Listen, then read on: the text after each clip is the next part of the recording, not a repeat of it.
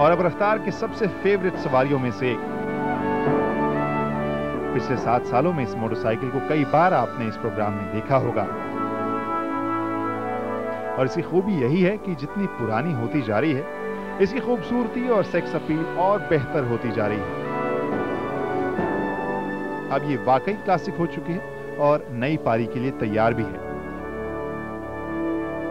इन motorcycles को खरीदने वालों की तादाद अभी भी कम नहीं हुई है। भले ही पुराने कास्ट आयरन इंजन अब इस बाइक से हटा दिए गए हों, गियर लेफ़्ट में और ब्रेक राइट में चले गए हों, लेकिन अभी भी बाइकर्स महीनों का इंतज़ार करने के लिए तैयार हैं, एक नई रॉयल एनफील्ड बाइक के लिए।